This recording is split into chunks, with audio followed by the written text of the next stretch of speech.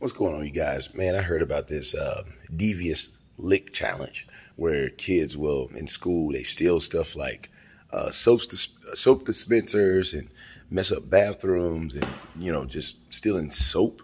Um, and, you know, I didn't even get this off the news, man. I'm trying to fast. I'm trying to fast from the stupid news. Um, but man, I'm just getting stuff over here. My kids even told me about it, man. Like at my kids' school, uh, they went to the urinals and ripped off the handle and busted it up. So it's like, this is a stupid challenge, man. It's an exercise in futility. Do a get a job challenge or do a like, let's play a sport challenge or come paint my house challenge. I haven't finished painting my ceiling yet, so come paint my house challenge. Do something useful, man. Good grief.